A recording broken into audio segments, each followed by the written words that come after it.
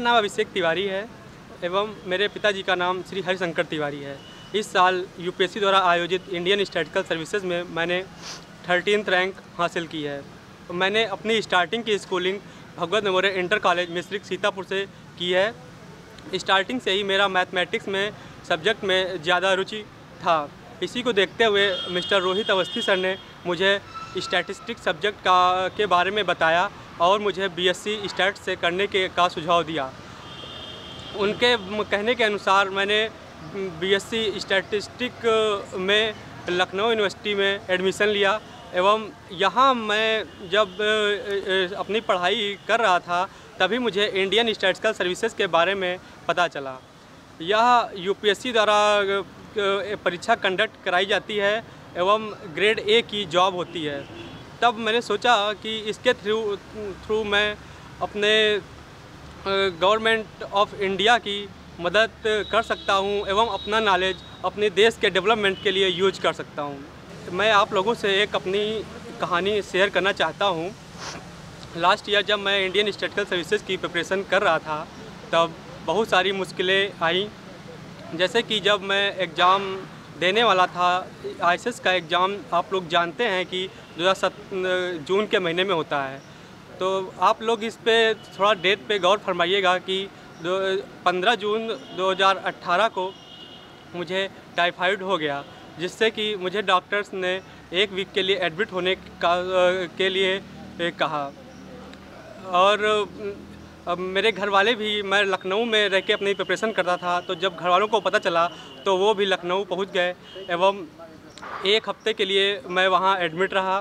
तभी मैं अपने नोट्स वगैरह साथ में मंगाए हॉस्पिटल में रिवाइज करने के लिए, क्योंकि लास्ट का रिवीजन बहुत इंपॉर्टेंट रखता है। लेकिन डॉक्टर्स ने मुझे बिल्कुल किताब पलटने तक के लिए मना कर दिया। आखिरकार जब छः दिन बाद मैं हॉस्पिटल से डिस्चार्ज हुआ तो घर वाले मुझे यहाँ अपने गाँव मिस्रिक ले आए, जहाँ मैं दो चार दिन के लिए रुका और मेरे पेरेंट्स ने बिल्कुल एग्ज़ाम देने से मना कर दिया। घर वालों का और फैमिली का भी प्रेशर था कि एग्ज़ाम मैं इस साल ना दूँ। तभी मैंने नीरज अवस्थी सर से बात की और उनको ये बताया कि मेरे घर वाले एग्ज़ाम ना देने के लिए प्रेरित कर रहे हैं। तो ये सुनकर उन्होंने उनको बड़ा अचंभा लगा और वो थोड़ा शुरुआत में गुस्सा हुए और मुझे समझाया कि एग्ज़ाम ना देना एक बहुत बड़ी भूल हो सकती है। और उन्होंने मुझे अपना कॉन्फिडेंस लेवल बनाए रखने के लिए कहा और उन्होंने अपने से रिलेटेड कई सारी मुझे स्टोरीज भी बताई कि अगर आप एग्ज़ाम के पहले बीमार पड़ जाते हैं तो ये ज़्यादा आपको इफ़ेक्ट नहीं करेगा। बस आप अपना कॉन्फिडेंस लेवल हाई रखिए। परिणामता मैंने अपने गार्जियंस को मनाया और मैंने उनसे एग्ज़ाम में बैठने के लिए अनुमति ले ली। एग्ज़ाम में बैठने के लिए लखनऊ चला गया और अपना एग्ज़ाम दिया। एग्ज़ाम के ड्यूरेशन भी मैं टैबलेट्स खा के अपने पेपर्स लिखता था। और एक्चुअली आप लोग जानते होंगे कि टाइफाइड होने के बाद सर में काफ़ी दर्द रहता है, जिससे कि एग्ज़ाम लिखने में बहुत सारी प्रॉब्लम्स आती हैं। लेकिन आपको इन प्रॉब्लम्स से बिल्कुल नहीं घबराना है और अपना कॉन्फिडेंस लेवल बिल्कुल हाई रखना है। बाकी दूसरी समस्या कि इंडियन स्टैटिस्टिकल सर्विसेज़ की तैयारी करते वक्त स्टूडेंट किसके मन में यही रहता है कि मैं अपना इंटरव्यू किस माध्यम में दूँ, हिंदी या इंग्लिश? ऐसा ही मेरे साथ भी रहता था कि लोग मुझसे बोलते थे अगर आप रिटर्न क्वालिफाई कर लेंगे तो आपको इंटरव्यू से बाहर होना पड़ेगा, क्योंकि वहाँ लोग प्रेफरेंस इंग्लिश मीडियम वालों को देते हैं। लेकिन मेरे साथ ऐसा कुछ नहीं हुआ और मैंने अपना पूरा इंटरव्यू हिंदी में दिया। तो इससे आप लोगों से अनुरोध है कि आप लोगों को इससे डरने की कोई ज़रूरत नहीं है कि आपका इंटरव्यू हिंदी में होगा या इंग्लिश में। बस आप अपने कॉन्सेप्ट क्लियर रहिए और जो आपको क्वेश्चन वहाँ इंटरव्यू में पूछा जाता है, उसका आप बिल्कुल सटीक आंसर दीजिए। इस आईएसएस के एग्ज़ाम के बारे में बताना चाहूँगा कि इंडियन स्टेटिस्टिकल सर्विसेज़ का एग्ज़ाम का नोटिफिकेशन मार्च मंथ के फ़र्स्ट वीक में आ जाता है। इसमें आपके, आपको कितनी सीट्स आई हैं, इसके बारे में पता चल जाता है।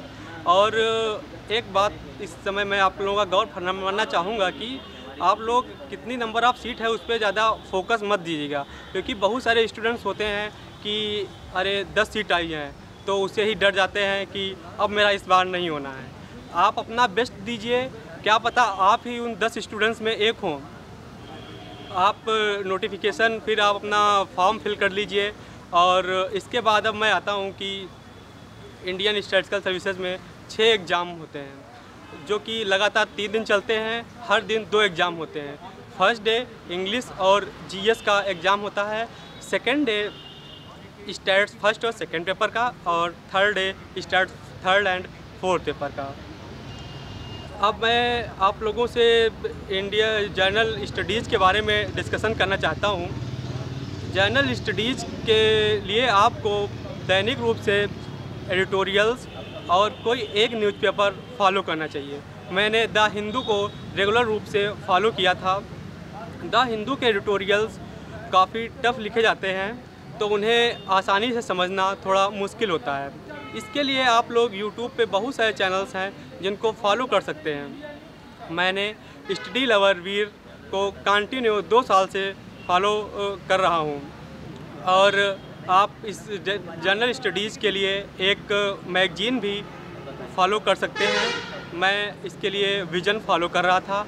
इस साल अभी हम लोगों के मार्क्स आ चुके हैं, जिसमें कि जनरल स्टडीज़ में मैंने 22 नंबर प्राप्त किए हैं।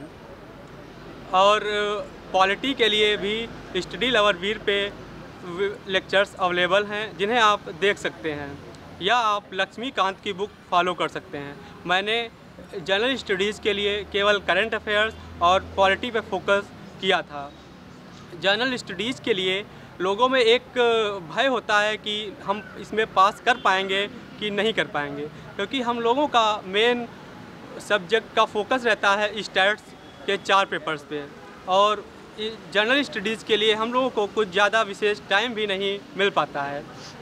इसके लिए मेरा सुझाव रहेगा कि आप लोग करंट अफेयर्स और पॉलिटी पे ज़्यादा फोकस करें, क्योंकि पॉलिटी हम लोग एक बार पढ़ने से उसे समझ सकते हैं और उसे याद रख सकते हैं। बाकी आप लोग history geography and Indian economy पर भी फोकस कर सकते हैं, लेकिन मेरा सुझाव यही रहेगा कि आप लोग पॉलिटी और करंट अफेयर्स पर अच्छे से फोकस करें।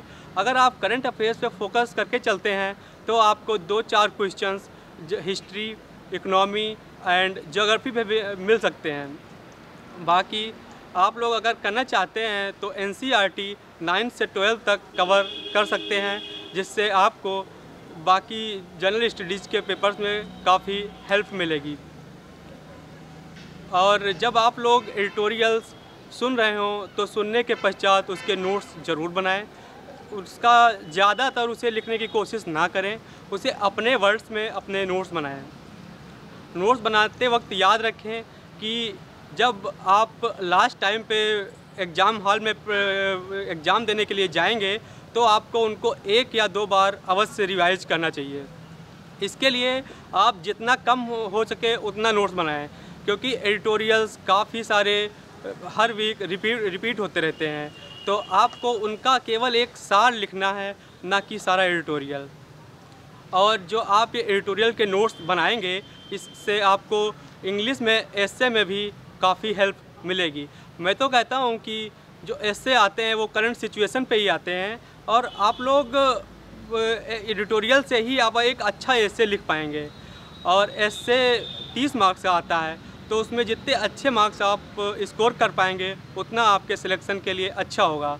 अब इंग्लिश के लिए आप ट्वेल्थ स्टैंडर्ड की कोई एक बुक फॉलो कर सकते हैं। मैंने एक्सलेंट की बुक फॉलो की थी।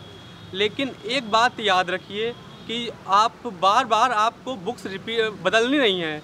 कि आपने किसी से पूछा तो उन्होंने बताया कि एक्सीलेंट फॉलो कर लो। ठीक है, मैंने एक्सीलेंट फॉलो कर ली। उसके बाद आपने दूसरे से पूछा, उसने बताया कि अरे भाई, आप एसएससी फॉलो का बुक फॉलो कर लीजिए। तो आप एसएससी पे कूद गए। आपको ऐसा बिल्कुल नहीं करना है। अपने आप में कॉन्फिडेंस रखिए और कोई एक बुक फॉलो करिए। उसे ही बार बार आप पढ़ते रहिए, जिससे आप निश्चय ही अच्छा स्कोर कर पाएँगे। अब हम आते हैं अपने मेन फोर सब्जेक्ट पे स्टैट्स के। Stats first paper stat first paper में आपके टॉपिक्स पूछे जाते हैं probability random variable and mathematical expectation correlation regression etcetera and numerical analysis और कंप्यूटर मैंने कंप्यूटर का सिन्हा एंड सिन्हा बुक से पढ़ा था। जिससे मुझे हेल्प मिली बट मैं आप लोगों को बताना चाहता हूँ कि 80 क्वेश्चंस में मैंने केवल 43 क्वेश्चंस अटेम्प्ट किए थे। और अभी जस्ट कुछ समय एक घंटे पहले हम लोगों का मार्कशीट आया है, जिसमें मैंने one zero four marks obtain किए हैं आउट ऑफ़ टू हंड्रेड में। यानी मैंने केवल कंप्यूटर में दो क्वेश्चंस अटेम्प्ट किए थे। और शायद उसमें भी एक गलत हो गया था। तो आप लोगों को किसी बात की डरने की ज़रूरत नहीं है कि हम लोगों को में भय रहता है कि अब तो कंप्यूटर पूछा जा रहा है तो कंप्यूटर में हम अच्छा कैसे करेंगे? तो आप कर सकते हैं, सिन्हा एंड सिन्हा बुक अच्छे से फॉलो करिए और उसमें आपको काफ़ी हेल्प मिलेगी करने के लिए। और न्यूमेरिकल एनालिसिस के लिए आप लोग मेरा सजेशन है, ज़रूर एंड ज़रूर केवल गुप्ता और मलिक फॉलो कीजिए। उससे क्या होता है कि आपको तीन से चार क्वेश्चंस डायरेक्ट टिक करने के लिए मिल जाते हैं। और बाकी रहा पार्ट स्टेट्स का, जिसके लिए आप लोग fundamental of statistic Gupta and Kapoor follow कर सकते हैं। ये, मैं तो कहूँगा मेरे हिसाब से ये बेस्ट बुक है आप लोगों के लिए। बाकी स्टैंडर्ड्स बुक हैं, जिन्हें आप देख सकते हैं, जैसे कि V K Rohatgi, Goon Gupta, Das Gupta, V R Bhatt etcetera अब हम लोग आते हैं सेकेंड पेपर पे। स्टैटिस्टिक सेकेंड पेपर में हम लोग को से पूछा जाता है लीडर मॉडल। और इन्फ्रेंस बेजियन इन्फ्रेंस और ऑफिशियल स्टैटिस्टिक लीनियर मॉडल के लिए आप लोग रिग्रेशन की एक बुक मॉन्ट गोमरी की आती है, वो फॉलो कर सकते हैं। उसके सारे टॉपिक्स आपको नहीं कवर करने हैं। जो आपके सिलेबस में हैं, वो केवल वहाँ से कवर करिएगा। सेकेंड नंबर पे लीनियर मॉडल आप लोग गोन गुप्ता दास गुप्ता से भी कवर कीजिएगा। वहाँ केवल एक चैप्टर दे रखा है आउटलाइन ऑफ़ स्टैटिस्टिक में। गोन गुप्ता दास गुप्ता में लीडर मॉडल का, वो आपको पूरा चैप्टर कवर कर लेना है, जिससे आप लोगों को एक अच्छा आइडिया मिल जाएगा लीडर मॉडल के बारे में। लीडर मॉडल में कुछ क्वेश्चंस अनोवा से भी रिलेटेड पूछे जाते हैं, जो आपको S C Gupta V K Kapoor applied statistic वाली बुक से मिल जाएगा। जो अप्लाइड स्टैटिस्टिक में जो अनोवा और डिज़ाइन ऑफ़ एक्सपेरिमेंट है, वो आप लोग इस इन्फ्रेंस के पेपर के लिए, उसके फार्मूले और डेरिवेशंस देख लीजिएगा, क्योंकि वहाँ से आपको डायरेक्ट क्वेश्चंस मिल जाते हैं। और उसमें जो अनोवा टेबल्स हैं, वो आपको बिल्कुल टिप ऑफ़ टंग होनी चाहिए, क्योंकि कई बार डायरेक्ट क्वेश्चन वहाँ से मिलते हैं, जिससे आपको बहुत ज़्यादा हेल्प मिलेगी क्वेश्चंस को करने के लिए। मैंने सेकेंड पेपर में अबाउट 136 मार्क्स गेन किए हैं आउट ऑफ़ 200 ऑफिशियल के लिए आप मॉस्पी की वेबसाइट से नोट्स बना सकते हैं या उसका जिराज करा सकते हैं। वो भी आपको काफ़ी हेल्पफुल होगा। आप जितना मैक्सिमम हो सके सेकेंड पेपर के लिए कीजिएगा। मैं जैसा स्टूडेंट हूँ, मैं सोचता हूँ कि फ़र्स्ट पेपर में मैंने 104 स्कोर किया है। हाँ वो एवरेज है, लेकिन आप सेकेंड पेपर में 140 के आसपास तक कोशिश करिए स्कोर करने के लिए। अब हम लोग आते हैं थर्ड पेपर पे। थर्ड पेपर मुझे काफ़ी टफ पेपर लगा, क्योंकि इसका जो सिलेबस है काफ़ी लेंदी है, काफ़ी बड़ा है। इसमें आपका आता है survey sampling econometrics, index number, demand demand analysis और टाइम सीरीज़। इसमें मैंने, मुझे बड़ा इसलिए लगा क्योंकि मैंने इसमें सारे टॉपिक्स कवर किए थे। Survey sampling econometrics, index number, demand analysis and time series. मैंने टाइम सीरीज़ का केवल हाफ़ पार्ट कवर किया था और इंडेक्स नंबर और सैम्पलिंग और इन इकोनोमेट्रिक्स पूरा कवर किया था। सर्वे सैम्पलिंग के लिए मेरे सर ने खुद के कोचिंग के नोट्स बनवाए थे, वहाँ से मैंने किया और कुछ टॉपिक जो सर ने छोड़ दिए थे, वो मैंने डॉक्टर सलभ सर के नोट्स जो आईआईटी कानपुर में पढ़ाते हैं, उनके नोट्स से मैंने कवर किया। और इकोनोमेट्रिक के भी सलब तरह के नोट्स थे उन्हीं से मैंने पढ़ा। और इंडेक्स नंबर, डिमांड एनालिसिस और टाइम सीरीज़, ये मैंने अप्लाइड स्टैटिस्टिक वाली बुक एस सी गुप्ता और वी के कपूर से कंप्लीट किया।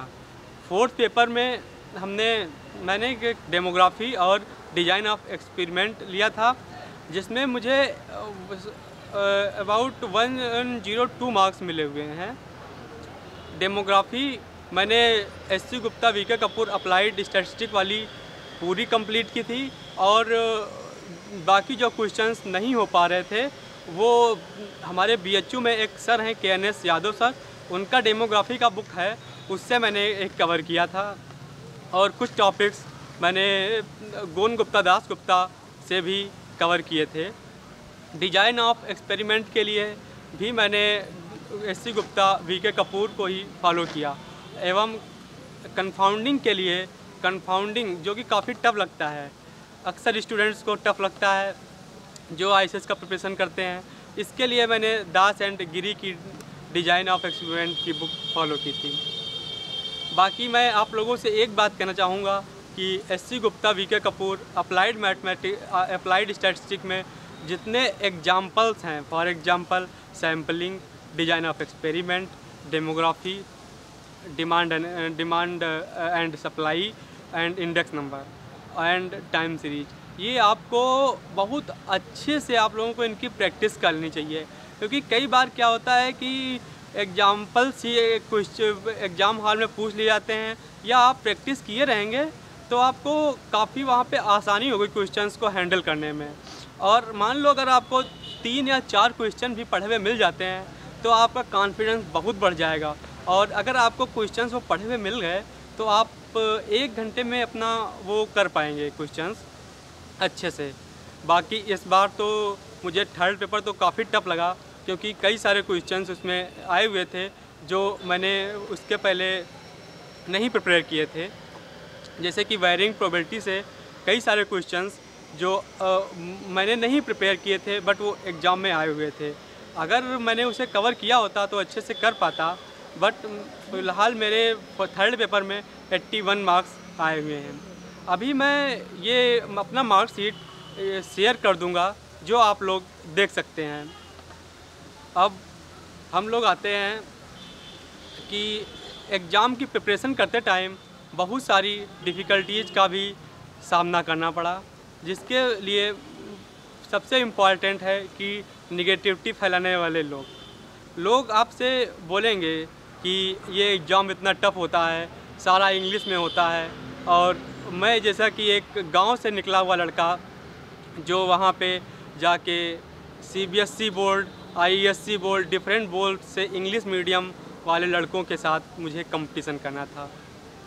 तो कई बार डर भी लगता था कि क्योंकि मेरा स्टार्टिंग से ही मार्क्स काफ़ी अच्छा रहा जैसे कि मैंने टेंथ में 83 परसेंट मैंने मुझे मार्क्स मिले थे। ट्वेल्थ में मुझे 81 परसेंट मार्क्स मिले थे। मुझे इंस्पायर स्कॉलरशिप में मिलती थी। तो यहाँ पे लोग अक्सर बोला करते थे कि आप टीचिंग में जा सकते हैं, कि ये लड़का आगे चल के टीचर बनेगा। लेकिन मेरा इंटरेस्ट तो कुछ और ही था, कहीं एक अच्छी ए ग्रेड की जॉब पाने का, जैसे इंडियन स्टेटिकल सर्विसेज़। पहले मैं इंडियन एडमिनिस्ट्रेटिव सर्विसेज़ के बारे में मैंने पढ़ा था, जानता था ले और लोगों में सुना करता था कि आईएएस और एक सबसे बड़ा जो बात है कि ये आईएसएस के बारे में बहुत कम लोग जानते हैं। ये भी एक कारण था, तब मुझे इसके बारे में नहीं पता था, लेकिन हाँ जब मुझे इसके बारे में पता चला, और पता चला ये कि हम लोग उन्हीं के इक्वेलेंट होते हैं, सब कुछ वैसा ही होता है, काफ़ी अच्छी जॉब है तो मैंने बिल्कुल अपना इंटरेस्ट इधर झुका दिया। और मैंने फिर वो छोड़ दिया कि मुझे आई का प्रिपरेशन करना है। कि अगर आप बीएससी के बाद इंडियन स्टेटिकल सर्विसेज़ की एग्ज़ाम देना चाहते हैं तो इसमें बहुत से टॉपिक्स होते हैं जो आप लोगों को बीएससी में कवर नहीं कराए जाते हैं। जैसे कि इकोनोमेट्रिक्स आपको बीएससी में शायद बहुत कम जगह पढ़ाया जाता है तो ये आप सलफ सर के नोट से कवर कर सकते हैं। और जब आप अगर इंटर के बाद आपने बीएससी लिया है और स्टैट से लिया है, आपने इंडियन स्टैटिस्टिकल सर्विसेज़ ज्वाइन करने का मन बनाया है तो आप स्टार्टिंग से ही एन के वीडियोज़ देखना स्टार्ट कर दीजिए। उस पर ख़ास कर सोमेश सर ने प्रोबेबिलिटी और इन्फ्लुएंस काफ़ी अच्छे से पढ़ा रखा है। मैं उन लोगों के लिए बता रहा हूँ, जो लोग लखनऊ यूनिवर्सिटी या बी एच जैसे इंस्टीट्यूट में पढ़ रहे हैं, उनको ज़्यादा इन्हें फॉलो करने की ज़रूरत नहीं है। आप लोग कर सकते हैं, वो आपके लिए विलन एंड गुड है। बाकी जो लोग, जैसे आगरा यूनिवर्सिटी है या जो छोटी यूनिवर्सिटी से पढ़ रहे हैं, वहाँ मुझे लगता है कि काफ़ी अच्छे से ये सब्जेक्ट नहीं पढ़ाए जाते होंगे। तो वो लोग इन्फ्रेंस और रिग्रेशन एनालिसिस और प्रोबेबिलिटी ये सारे टॉपिक्स वहाँ से बहुत अच्छे से वहाँ पे कवर कराए गए हैं। एनपीटीएल पे आप लोगों को स्टार्ट से हर सब्जेक्ट यानी उससे हर टॉपिक से रिलेटेड वीडियोज़ मिल जाएँगे, जो कि आप लोग बीएससी सेकेंड ईयर में, मैं तो कहूँगा कि आप लोग फ़र्स्ट ईयर से ही वो आप लोग देखना स्टार्ट कर दीजिए। और जब क्योंकि आप लोग जब फ़र्स्ट ईयर में फ़र्स्ट टाइम स्टैटिस्टिक सब्जेक्ट पढ़ेंगे तो आप लोगों को शुरुआत में कुछ बोरिंग लग सकता है। लेकिन जब आप लोग उसे अच्छे से पढ़ने लगेंगे तो मेरा विश्वास है आपका इंटरेस्ट उधर ज़रूर बढ़ेगा। और क्योंकि ये मैथमेटिक्स से जुड़ा हुआ सब्जेक्ट है तो आप लोगों का, अगर आप लोगों का मैथ में इंटरेस्ट है तो मैं हंड्रेड परसेंट बोल सकता हूँ कि आपका इस सब्जेक्ट में ज़रूर इंटरेस्ट बढ़ेगा। और एक आप एक अच्छी पोस्ट के ग्रेड ए पोस्ट के अधिकारी बहुत ही कम उम्र और बहुत ही जल्दी बन जाएँगे। अगर मान लो आप कहीं ऑफ़िस में काम कर रहे हैं और आपने अभी तक केवल थोड़ा बहुत ही प्रिपरेशन किया है तो आप लोग फ़र्स्ट थ्री मंथ में अपना पूरा सिलेबस कवर करने का कोशिश करिएगा और जब लास्ट का तीन मंथ बचता है, उसके लिए आप लोग केवल प्रैक्टिस प्रैक्टिस प्रैक्टिस करिएगा। जिससे कि क्या होगा, जितना ज़्यादा आप प्रैक्टिस करेंगे, उतने ज़्यादा आप एग्ज़ाम हॉल में कंफर्ट महसूस करेंगे और आप उतने ज़्यादा आपका कॉन्फिडेंस लेवल हाई रहेगा। अब जो लोग स्टार्टिंग से प्रिपरेशन करते आ रहे हैं, वो लोग, मैं ऐसा मानता हूँ कि उन लोगों का सिलेबस कवर हो चुका होगा।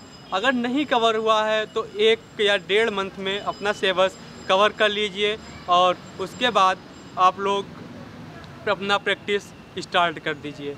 या अगर आप लोग चाहते हैं तो अभी से एक या दो आवर्स उसके लिए निकाल सकते हैं कि अपना आंसर प्रैक्टिस के लिए। जैसे कि आप लोग जर्नल स्टडीज़ के लिए क्वेश्चंस का जितना हो सके मैक्सिमम प्रैक्टिस कीजिएगा। जैसे कि जितना आप प्रैक्टिस कर लेंगे, उतना आपके लिए कंफर्ट रहेगा एग्ज़ाम हॉल में। अब सबसे इंपॉर्टेंट पॉइंट हम लोग, आप लोगों के साथ शेयर करना चाह रहे हैं कि निगेटिव पॉइंट लोग आप लोगों को बहुत डिस्टर्ब करेंगे, लेकिन आपको वहाँ पे अपना कॉन्फिडेंस बिल्कुल नहीं खोना है और आप लोगों को बिल्कुल अपने कॉन्फिडेंस को हाई पे रख के अपना अच्छे से अपना प्रिपरेशन जारी करते रहना है। और हमारी तरफ़ से आप लोगों को बहुत बहुत शुभकामनाएँ कि आप लोग अच्छे रिजल्ट्स के साथ एग्ज़ाम हॉल से वापस आएँ। और इसी के साथ मैं दिल्ली नॉलेज ट्रैक को धन्यवाद करना चाहता हूँ कि मेरी स्ट्रेटजीज़ आप लोगों तक पहुँचाने में इन्होंने मेरा बहुत बहुत सहयोग किया है। इसी के साथ मैं अपने माता पिता अपने teachers specially Neeraj Awasthi sir को थैंक्स करना चाहता हूँ, जिनकी वजह से मैंने इंडियन स्टेटिकल सर्विसेज़ का एग्ज़ाम क्रैक किया। Thank you